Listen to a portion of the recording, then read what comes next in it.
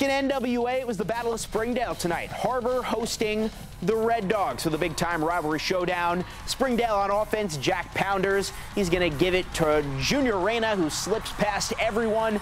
Big first down run.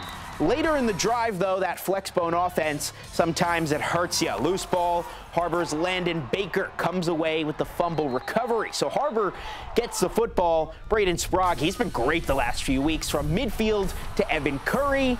He's got, takes it to the house. That's a Wildcat touchdown. And then the Cats break out my favorite celebration of the night. This is the highlight in its own right. Check it out. We're playing baseball. Boom, home run. Har-Ber gets its first win of the season, taking down Springdale in the rivalry showdown 41 to 24.